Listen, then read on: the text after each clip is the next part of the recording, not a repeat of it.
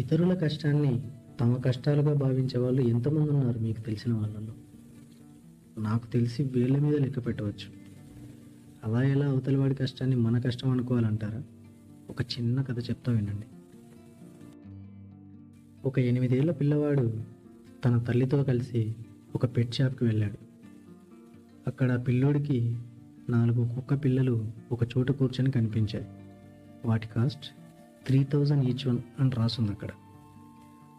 ఒక కుక్క పిల్ల మాత్రం ఒంటరిగా ఒక మూలన కూర్చొని దీనంగా చూస్తూ కనిపించింది ఆ పిల్లవాడికి అప్పుడు ఆ పిల్లాడు ఆ కుక్క పిల్ల వీటి తాలూకుదేనా? అయితే దాని కాస్ట్ ఎంత? దాన్ని మాత్రం ఎందుకలా విడిగా మూలన కూర్చోబెట్టారని అడిగాడు. అప్పుడు ఆ పెట్ షాప్ ఓనర్ అది కూడా ఈ కుక్క పిల్లలతోనే పుట్టింది? కాకపోతే దానికి ఒక బాడీ పార్ట్ లేకుండా పుట్టింది? కాబట్టి దాన్ని ఎవ్వరూ తీసుకోరని చెప్పాడు. ఆ పిల్లవాడు ఆ కుక్క పిల్లకి ఏం రూపం ఉంది? అని అడిగితే ఆ కుక్క పిల్లకు కాలు లేదు అని చెప్పాడు ఆ షాప్ ఓనర్.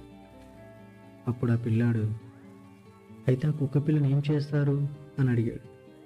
దాన్ని నిద్రపుచ్చుతామని చెప్పాడు షాప్ ఓనర్. దాన్ని ఒకసారి ఎత్తుకోవచ్చా? అని అడిగి ఎత్తుకున్నాడు ఆ అబ్బాయి. అప్పుడు అది ఆ పిల్లవాని చెవి నాకింది. వెంటనే ఆ కుక్క పిల్లని కొనాలని నిర్ణయించుకున్నాడు ఆ పిల్లవాడు. బట్ ఆ స్టోర్ ఓనర్ మాత్రం దాన్ని అమ్మ అన్నాడు.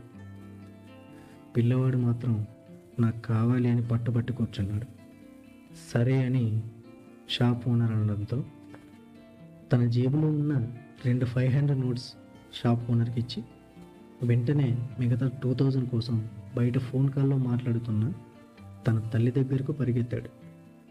షాప్ ఓనర్ వెనుక నుంచి అరిచాడు. అంత డబ్బిస్తే నీకు మంచి కుక్కపిల్లే దొరుకుతుంది కదా? ఫుల్ అమౌంట్ ఇచ్చి ఆ కుక్క పిల్లని ఎందుకు కొంటున్నావో నాకు అర్థం కావట్లేదు అని అన్నాడు.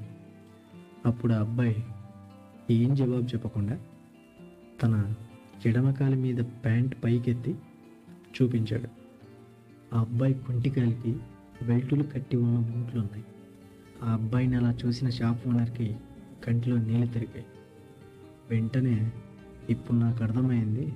ఇందా దీన్ని తీసుకో అని ఆ కుక్క పిల్లను అబ్బాయికి ఇచ్చి పంపించేశాడు. దీని సారాంశం ఏంటంటే ముందు చెప్పినట్టుగానే ఇదే పక్కవాడి కష్టాన్ని మన కష్టంగా భావించడం అంటే